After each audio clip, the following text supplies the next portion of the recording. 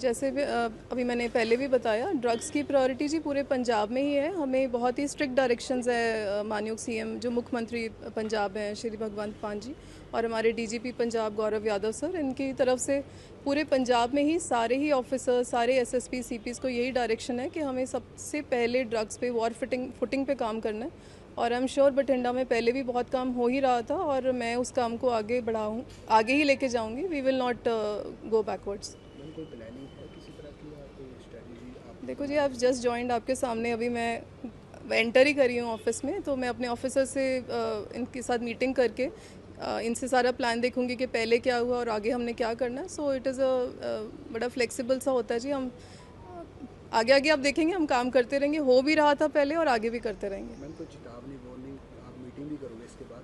जैसे डिस्ट्रिक्ट में नशा जब पाया जाता है तो इन्वॉल्वमेंट ग्राउंड लेवल पे अधिकारियों की भी मिल जाती है जो पुलिसमैन है देखो जी इस तरह की कहीं भी इन्वॉल्वमेंट मिलती है तो पूरे पंजाब में ही स्ट्रिक्ट डायरेक्शंस है ज़ीरो टॉलरेंस और स्पेशली अगर हमारे ही एम्प्लॉयज़ हों तो हमें तो इमीडिएट डिसमिसल के भी हुक्म मतलब क्लियर डायरेक्शंस हैं तो इस तरह की किसी की भी, हमारे डिपार्टमेंट में किसी की अगर हमें क्लियरली मिलती है उनकी इन्वॉलमेंट तो obviously I will not spare him और हर थैंक यू